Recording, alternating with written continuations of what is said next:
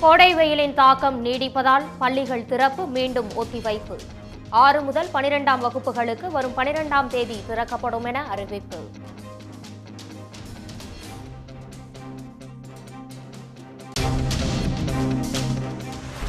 தமிழ்நாட்டில் ஒன்று முதல் ஐந்தாம் வகுப்புகளுக்கு வரும் பதினான்காம் தேதி பள்ளிகள் திறக்கப்படும். முதலமைச்சர் தலைமையில் நடந்த ஆலோசனைக்கு பிறகு அறிவிப்பு.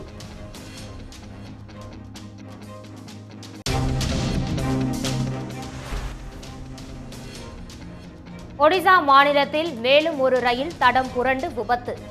சுண்ணாம்புகள் ஏற்றி சென்ற சரக்கு ரயில் பார்கர் பகுதியில் தடம் புரண்டது.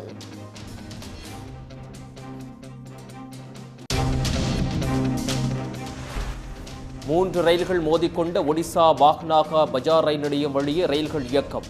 ஹவுராவிலிருந்து பூரி செல்லும் வந்தே பாரத் ரயிலும் மிதமான வேகத்தில் இயக்கப்பட்டது. ଅନ୍ୟପଟେ ଅନ୍ୟ ଯେଉଁ ଦୁଇଟି ଟ୍ରାକ୍ର କାମ ଏବେ ବି ଚାଲିଛି ବିଶେଷ କରି ଯେଉଁ ଦୁଇଟି ଟ୍ରାକ୍ର ଅ, କି ଚୁରମୁର ଚୁରମାର ହୋଇଥିଲା ସେଇ ଦୁଇଟି ଟ୍ରାକ୍ରେ କାମ ଏବେ ଆରମ୍ଭ ହୋ- ஆசிரியர் பணியிடங்களை உடனே நிரப்ப அரசுக்கு எடப்பாடி பழனிசாமி வலியுறுத்தல் மாணவர்களுக்கு தரமான கல்வி வழங்குவதை உறுதி செய்ய நடவடிக்கை எடுக்க கோரிக்கை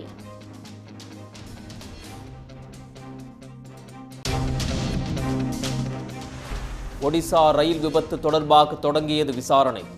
உதவி ரயில் நிலைய மேலாளர் உட்பட நான்கு அதிகாரிகளிடம் விசாரணை நடத்த முடிவு.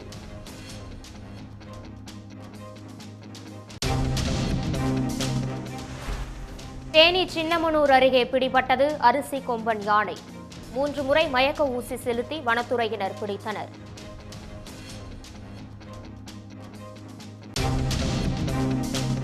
அரிசி கொம்பன் யானை பிடிபட்டதால் கம்பம் சுற்றுவட்டார மக்கள் நிம்மதி.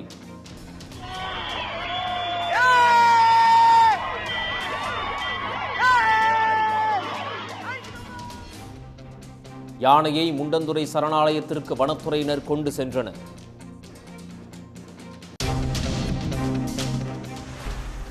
அரசி கொம்பன் யானையை ஏற்றிச் சென்ற வாகனத்தில் கயிறு அருந்ததால் பரபரப்பு. அருந்த கயிறு உடனடியாக சரி செய்யப்பட்டதால் பெரும் அசம்பாவிதம் தவிர்ப்பு.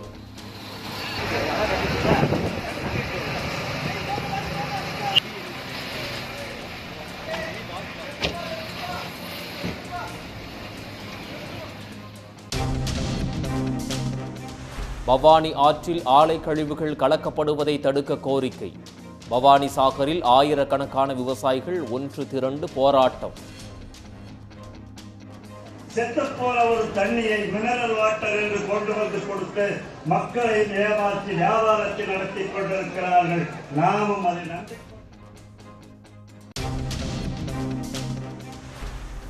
கோடை விடுமுறை முடிவதால் விமான நிலையத்தில் நிரம்பி வழியும் கூட்டம்.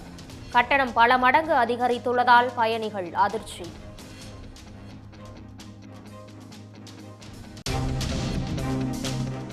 பொறியியல் படிப்புகளில் சேர சுமார் ஒரு லட்சத்து எண்பத்தி எட்டாயிரம் பேர் விண்ணப்பம்.